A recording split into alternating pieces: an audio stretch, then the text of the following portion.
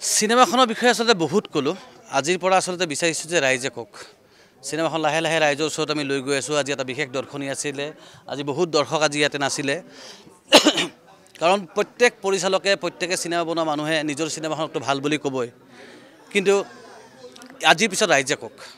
আমি কৰিছোঁ কৰিব লগা কষ্টখিনি কৰিছোঁ। যিমানখিনি সততাৰে কাম কৰিব লাগে সিমানখিনি সততাৰে কৰিছোঁ। বাকী বিচাৰ ৰাইজে কৰিব। ন চেপ চিনেমাখনৰ বিষয়ে আচলতে বহুত ক'লোঁ। আজিৰ পৰা আচলতে বিচাৰিছোঁ যে ৰাইজে কওক। চিনেমাখন লাহে লাহে ৰাইজৰ ওচৰত আমি লৈ গৈ আছোঁ। আজি এটা বিশেষ দৰ্শনী আছিলে। আজি বহুত দৰ্শক আজি ইয়াতে নাছিলে।